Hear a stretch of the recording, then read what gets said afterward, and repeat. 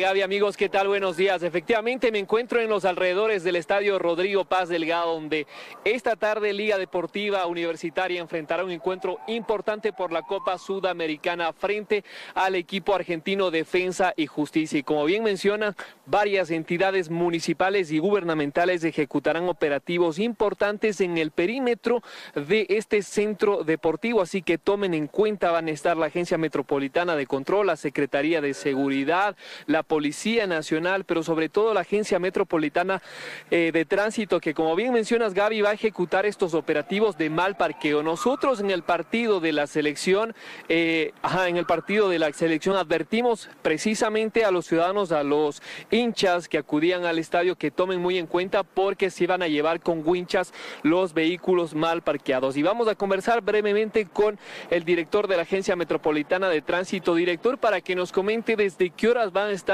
eh, ejecutando estos operativos y entendemos también que habrán calles cerradas. Buenos días. Buenos días a usted y a toda su audiencia. Eh, a partir de las 7 de la mañana van a empezar algunos de los cierres. Nosotros de aquí para que toda la audiencia pueda tener mayor facilidad eh, de la zona de cierre va a estar en, en el acceso hacia el estadio de Rodrigo Paz de Liga Deportiva Universitaria, la calle Lemos por la que estamos más o menos actualmente. Posteriormente eh, si nosotros los podemos acercar, disculpe. Claro, a ver, para que nos explique un poco más.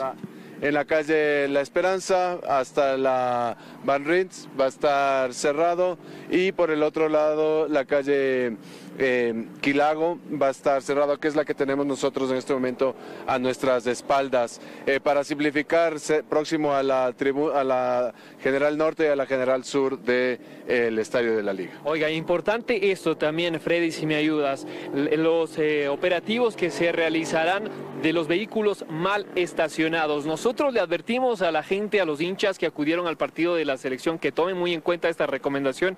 Ustedes vinieron esa tarde, se llevaron algunos vehículos mal parqueados. Esta tarde va a ocurrir lo mismo. Generalmente se sabe parquear en la Avenida de la Prensa, se sube en las veredas. Eso no es permitido. Eso no está permitido. Nosotros, y gracias por hacer esta, este recordatorio a toda su audiencia, que no está permitido estacionar en lugares sobre la acera, sino hay lugares eh, previamente establecidos. También hay eh, los del centro comercial que está próximo aquí, hay una liga barrial también próxima donde se puede estacionar.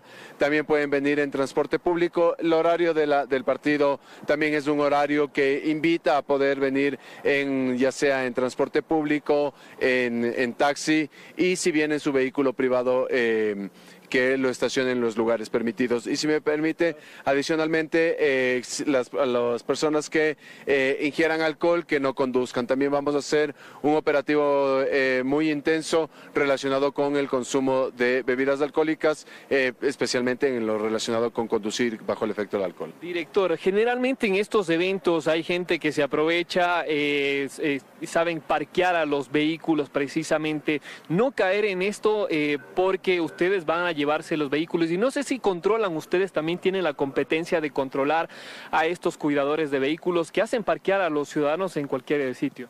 Eh, esa parte es una que, que eh, corresponde a la Agencia Metropolitana de Control.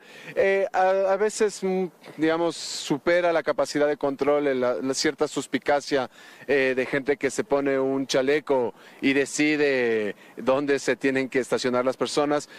pero considero que muchas, muchos de los ciudadanos son conscientes de los lugares en los cuales son permitidos y no está permitidos estacionar. Entonces, más bien apelo a sus buenos oficios para que eh, la gente, si viene en vehículo, pues estacione en los lugares permitidos. A partir de las 5 de la tarde se va a desarrollar este encuentro. Es un horario también donde los funcionarios, la mayoría de funcionarios de aquí salen de sus trabajos. Evidentemente la congestión será mucho más pesada a esa hora. Sí, ese momento sin duda y de hecho, eh, según últimas informaciones, sé que hay una buena acogida por parte del público para eh, presenciar el partido. Por lo tanto, eh, nosotros invitamos que se maximice el uso del transporte público, pero de todas maneras nosotros con todo nuestro contingente humano de los agentes vamos a estar a lo largo de la ciudad y especialmente en las inmediaciones del estadio Rodrigo Paz para poder gestionar el tránsito. Bien, muchísimas gracias. Y se estima, chicas, que acudan alrededor de unas 25 mil personas. Es un partido importante que juega Liga Deportiva Universitaria y estará alrededor también de unos 500, 600 funcionarios públicos justamente resguardando y custodiando los exteriores y el interior del, del estadio. Así que tome muy en cuenta estas recomendaciones que acaban de, de dar las autoridades. Con esta información regreso a estudios. Ustedes como más amigos, buenos días. Buenos días.